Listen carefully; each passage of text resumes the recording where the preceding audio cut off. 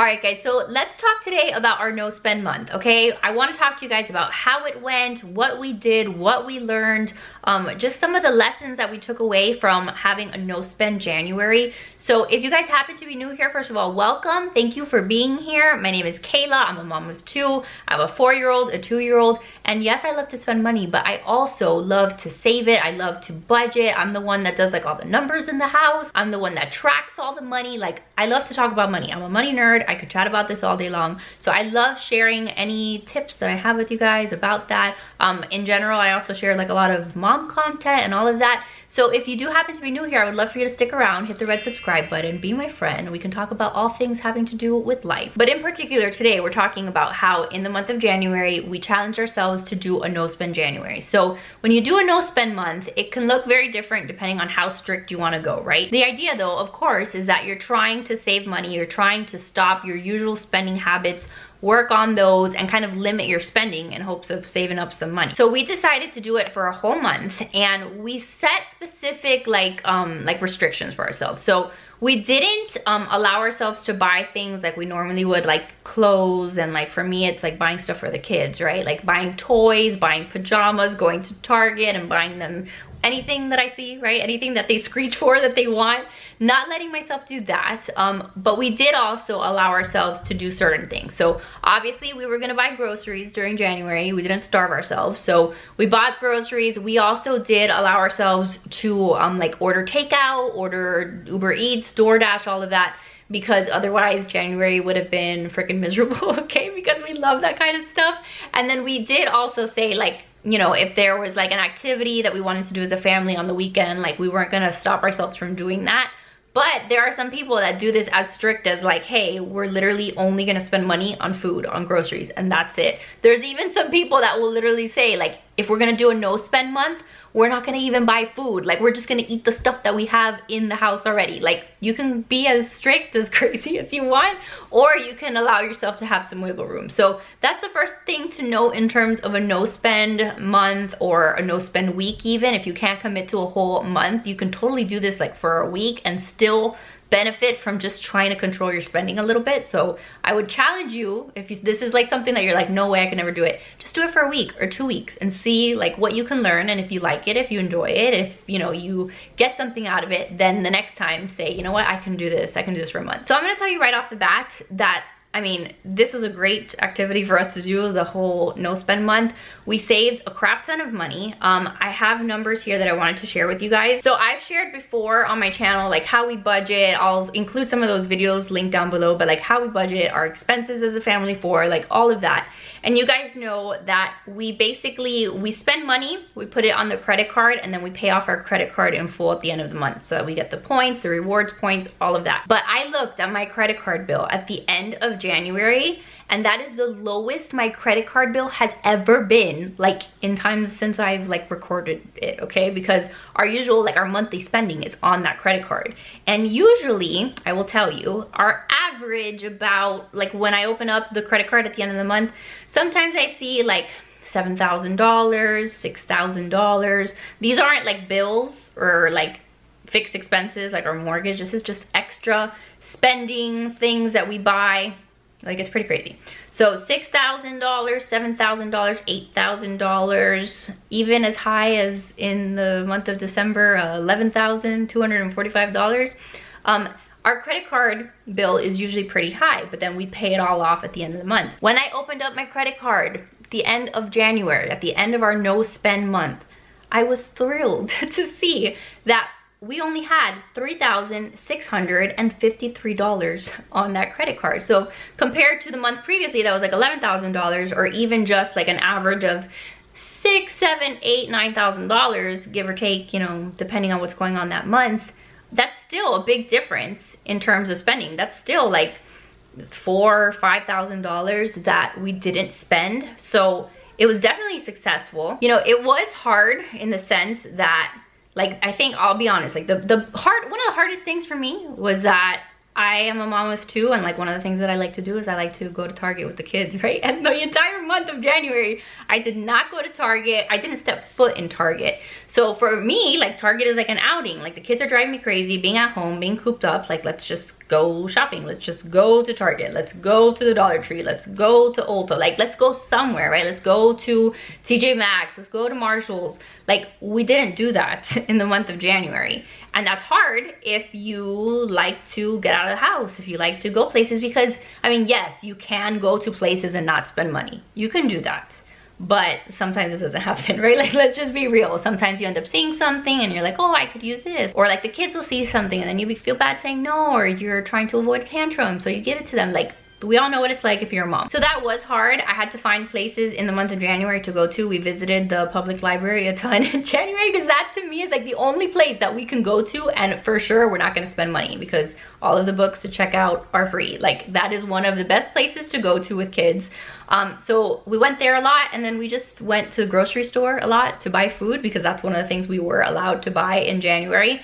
So um, that was particularly hard. Um, another thing for me that I struggled with was like there were a lot of like sales. Oh my god like there were so many sales that came up in january. Like after christmas remember you've got a bunch of clearance stuff clearance toys. That was hard for me to resist because normally i'd be the first one at target trying to hit up any clearance items and getting stuff that i you know wouldn't pay normally full price for but it's on sale. Like it was hard to resist that like you know even something as stupid as like um like uh, Christmas candy, right? That like the next day after Christmas, you would see, and like even into January, right? You would see like some of that stuff at Walgreens or at CVS, like discounted. Um, I couldn't buy that kind of stuff. So that was hard. Um, I remember in January, I'm pretty sure it was um, Jaclyn Hill that I love all her makeup. I love her collection. Like I'm a big supporter of like whenever she drops stuff. And she had several launches where like she was all excited and like, look, I'm releasing this. And normally I would have jumped on the bandwagon and bought her stuff, but I couldn't because that wasn't one of the things that I was allowed to buy in January. And it hurt because I was like, man, like I'm missing out on this, I'm missing out on the sales. But I mean, I didn't die, right? Like I'm perfectly fine here. And to this day, I still haven't even purchased those things that a month ago I was like, man, I really wanna buy it. I'm here, it's, you know, I don't have it and I'm still fine. So that was particularly difficult for me. Like if you guys did do the challenge or if you've ever done a no spend, no buy month or whatever, let me know down below in the comments, like what was the hardest thing for you guys? Um, that was just, you know, some of the stuff that mentally I was dealing with. Um, I do want to know though, like some of the positives, right? Obviously I already shared the positive of my credit card bill. Yes, we saved some money, but throughout the no spend month, I feel like there was other stuff just like mentally that like I was working through and things that I came away from like feeling much better about.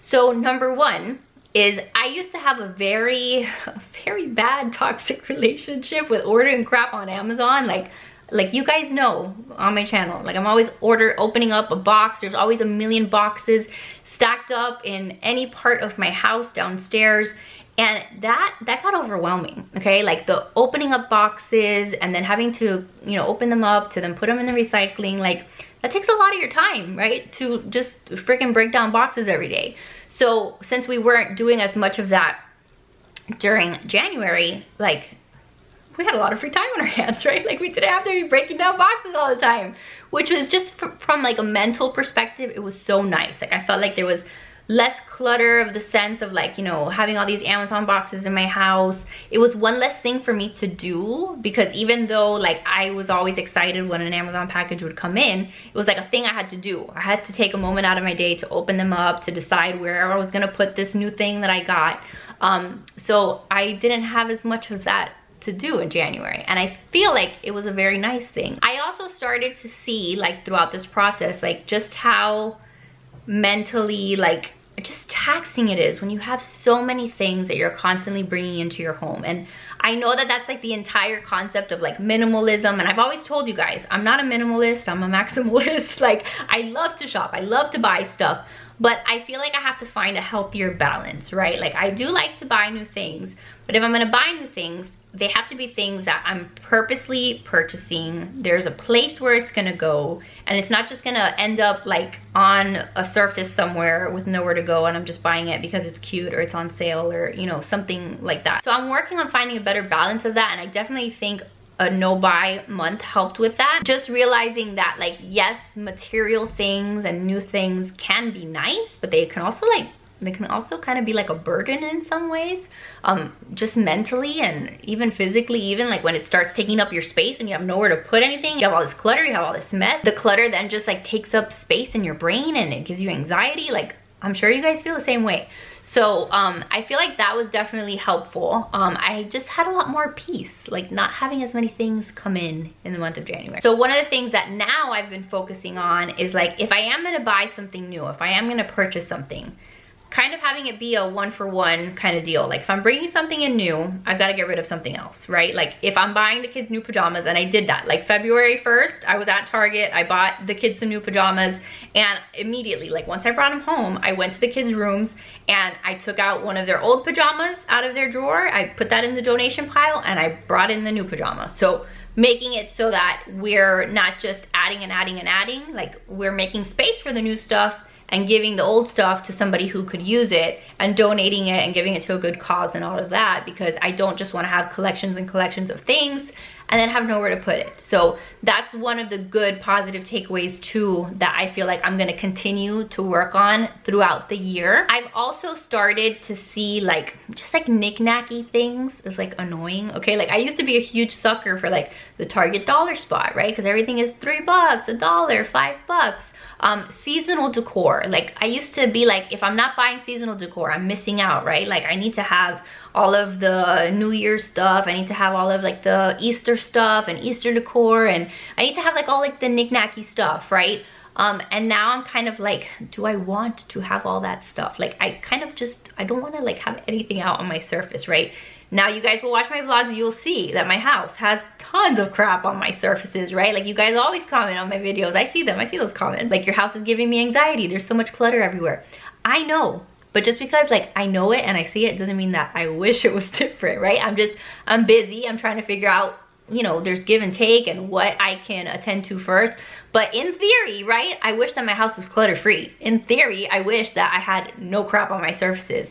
Um, so things where before I would be very enticed to buy, oh, this is so cute. Like, this is so cute, but do you need it? Like, do you need it? Or can you just like save that money for something that is a little bit more important? You know, that's something that's gonna be a little bit more beneficial to your life. Like, reevaluating some of those priorities has been really helpful. Okay, sorry, my battery just died, so I had to like move you guys around, so the frame is probably off of where it was last time. But um, just reevaluating some of those priorities has been good and not like that impulse shopping has been a lot less than it used to be. Um, I used to literally, like I'm telling you, I would stay up late on my phone on Amazon and I would just buy things and buy things and you know stuff from my saved cart like I have like 600 things in my saved for later cart and I would just pull things out of there and buy it because I was bored buy it because I don't know like I, I just I was bored and I just wanted to get it like I have a lot of problems that I'm trying to work through. But now I've done a lot less of that, like straight up, I've done a lot less of that. Um, I asked myself more than once, like, is this something that I really need? Um, like, am I gonna be devastated if I don't have it? And then if I am gonna buy stuff from Amazon, something that I have been doing more frequently is instead of buying like one different thing every single day, at the beginning of the week, I'll be like, okay, what do we need to buy from Amazon, right? Like, do I need to buy Tide Pods? Do I need to buy, like, anything that I would randomly buy from Amazon? Like, let me make one big purchase at one point in the week so that when I get it later on in the week, it's in like one consolidated box, right? Or like one big box or a couple of boxes and we do all of the boxes situation the same day as opposed to every single day getting this huge box for like one tiny item and then you know the same thing every day. That was literally happening. Like i would order like a small thing like a tube of mascara and it would come in a huge box. And i'm like why? With plus like the bubble wrap the packing stuff for one thing. So trying to alleviate myself of some of that um, I feel like that has been very beneficial to my sanity. You know, we did have Valentine's Day yesterday, so I bought the kids like some stuff for their little Valentine's Day baskets. But prior to Valentine's Day, I was really saving up like instead of going and buying them stuff like February 1st um, that I knew I wanted to maybe give them for Valentine's Day, I kind of waited and like held off on that until Valentine's Day to put it in their Valentine's Day basket. So sometimes that, you know, you can do that. Sometimes like it's too long to wait for another holiday, but just try to be more mindful of that. Like the kids have a million toys. Yes, I'm still gonna buy them toys, okay? Like don't hold me to not buying them toys ever again because I'm gonna fail miserably. But just being a little more intentional about it. You know, there are still things that I wanna buy like for the house. I wanna buy like some artwork for the house. Like there's some specific pieces that I wanna buy for the house but I'm trying to like not like when I need something like going to the store or like going online for a purpose, right? Like, hey, I need a new frame. Let me go look for a frame. Or I need a picture for this space in my house. Let me go find a picture for this space in my house. As opposed to like, let me just walk through TJ Maxx and see what's pretty. And then I buy stuff that's pretty, but I don't know where to put it or I have nowhere to put it. I hope that makes sense. I hope you guys are still with me. I will tell you though, um, that something that was really hard for me in particular, and I've shared this before, um, if I wasn't on YouTube, if I wasn't on Instagram, if this wasn't my business, I feel like I absolutely would spend less. Like I would not be buying clothes as frequently. I would not be buying stuff for myself as frequently. I wouldn't be buying as often because part of my job wouldn't consist on like showing you guys stuff that I bought and making affiliate commission off of it. Um, so anytime that I share like a link in my description box and you guys click on it, um, oftentimes that's an affiliate link and I get like a small commission from it. Same with like Instagram. I'm sure you guys know the drill by now. Like when people do like swipe up links, like here, tap to shop, swipe up, whatever. If you use their links, they're getting a small commission from that. Chart. It costs you nothing extra, but they're making a little percentage of that. And that's one of the ways that we make money. That's one of the ways that I make money. So in January, since I wasn't like buying new clothes or buying new things, I will tell you, um, my affiliate income went down dramatically, okay? So meaning like my business took a hit from me not shopping. So to somebody that's not on Instagram or that's not part of your business model, then you don't have to worry about that. But for me, that was one of the things that was hard about no spend January was that there was like a financial implication for my business. Like, yes, I was saving money, you know, in terms of like not spending, but at the same time, I wasn't bringing in as much as I normally do from affiliate revenue. So that's been something that I've been like thinking about and like trying to figure out like how can I, um, like be smarter about that like if I buy a new shirt for example let's say I go to Target and I buy a new shirt you know usually I'll try it on in front of the mirror I'll show you guys you know that I got a new shirt I'll link it for you guys maybe one of the things that I have to do is, um, you know, if I do make a purchase, try to share it several times, like throughout the next month, so that there's more opportunities for me to make money off of that one item as opposed to like continuing to buy something new and new and new. Like things like that like business strategy wise that i have to figure out what's gonna make sense. But that's something that i'm just gonna have to like work through. Um i still feel like it's gotten to a point where buying too much stuff all the time it's just overwhelming. Like the taking off of the tags of the clothes, like I don't know what it is about freaking kids clothes, like that there's like a million tags all over the place. And like I used to find the tags all over my house, all over my floor, all over the rugs. And it's just because I was, was buying a lot of stuff. So those are like some of my reflections. Um, there were still things during our no spend January where um, you know things came up we had doctor's appointments that we obviously had to you know pay for um, I feel like Joe did a really good job. I was kind of worried about him I'll be honest because my husband if you guys are new he's the one that like loves to spend um, like he loves to blow his budget. Like normally what we do in our house is like every month he gets a certain amount of spending money and I get a certain amount of spending money and that's ours free to do whatever we want with right? Like if he wants to buy like the stupidest things in the world. Like he can go ahead and buy it. He doesn't have to run it by me. Um he can blow it on whatever he wants. And then same for me. Like if i want to buy stuff for my hair if i want to buy clothes if i want to buy books like anything i want to buy i use that money for my stuff. And you guys can hear the kids screaming in the background. And they're with joe but they're like I don't know, something's happening there. But anyway, he has very expensive taste. Usually if I give him spending money like February 1st, usually like by February 1st uh, in the evening, it's gone. Like he's already bought some high ticket item. Um, and so we tease him about that all the time. So when I told him that we were gonna do a no spend January, I was like, this guy's gonna have a fit. Like he's not gonna wanna do it or he's gonna cave in at, you know, January 15th, something's gonna happen and he's gonna wanna spend money. And he did great, you guys. He did such a good job Um, he likes to remind me that I was the one at Target February 1st. Like the minute that I could go back to the stores, I was the one there. He held off till like February, I don't know, like like last week he ended up spending all his money. I think it was a good like experiment for both of us and we both said that we will um like hopefully we will do another no spend month at some point in the year. I just have to figure out like what's gonna be you know, a good month. Like obviously we're not gonna do a no spend December because that's when we're buying a lot of stuff. But maybe some point like in the summer we'll do like a no spend month and see if we can also like save up some of that money. So overall, it was a very good learning experience. So I feel like I took a lot away from that and I feel like it's good for everybody to do that at some point. Even if it's like for a week, I said, like figure out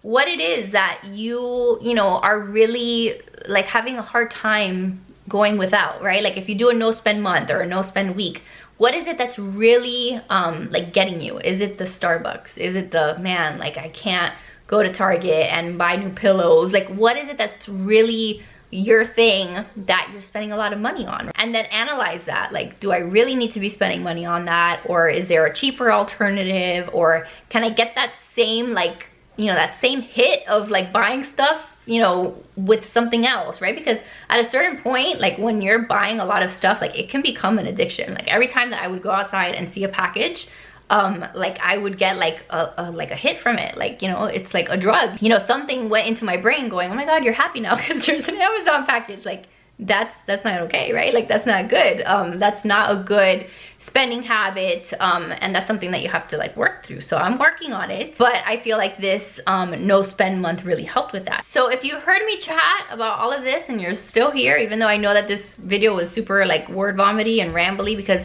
i never like to script my videos you guys. Like i don't even like come to my videos with an outline. Like i just kind of talk to you guys um, about different things and hope that I remember what I wanted to say.